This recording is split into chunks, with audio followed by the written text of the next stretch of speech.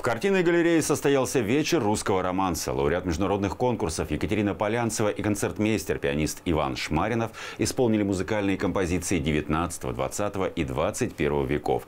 На концерте побывали и мы.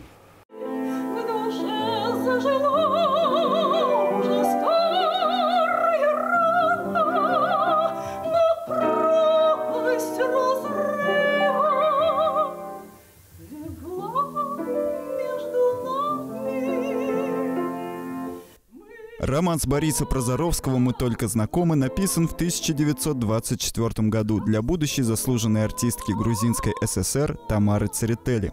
Спустя почти столетие музыка трогает и слушателей, и исполнителя.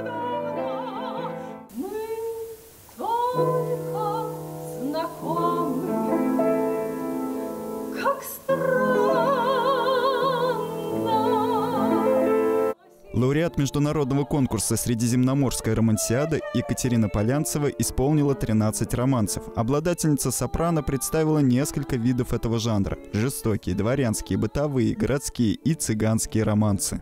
Каждый романс – это история, каждый романс э, – это моя любовь отдельная, поэтому тут нельзя сказать, этот я люблю больше, этот я люблю меньше. Я все люблю, то, что я исполняю.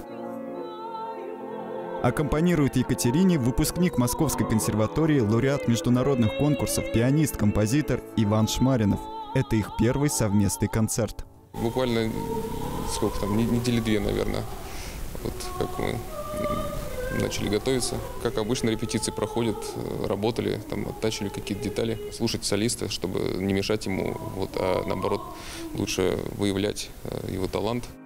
В концертной программе Иван исполнил три произведения собственного сочинения. Это музыкальные пьесы по картинам русского художника Ивана Шишкина «Рожь», «Утро в сосновом бару» и «Туман в лесу».